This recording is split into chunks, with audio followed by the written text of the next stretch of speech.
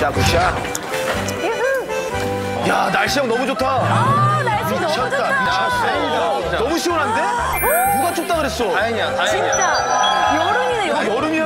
좋은데, 날씨? 오케이. 와, 날씨 미친 거 아니야, 진짜? 아, 기가 막히네. 와. 야 진짜 미세먼지라고 눈꼽만치도 없다. 야, 공기가 달라요. 다 보이네. 저희가요 고급 정보를 들었는데 저희 기차 탄다면서요. 이동 시간만 거의 하루 걸리잖아, 지금. 지금 그렇지. 지금 브라질 가도 이상하지 않아. 뭐야, 지금 지효 언니 벌레 엄청 붙는데?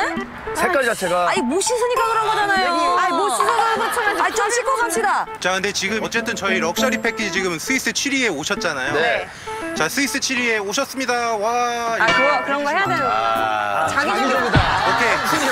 진짜야? 우리가 여기서 아니요 그래도 맞춰주자고. 맞춰주자고요. 한번 맞춰주자고.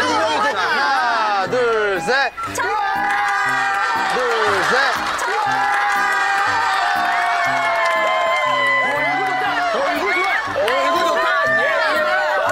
이거 좋아. 드라마. 드라마 타이즈네 드라마 타이즈야. 자, 여러분. 자, 드디어 스위스 7위에 도착했고요. 저희 큰일 날 뻔한 거 알아요? 지금 이미그레이션에서 어떤 일이 있었나요? 홍진이 형 얼굴 다르다고? 홍진이 형 얼굴 다르다고?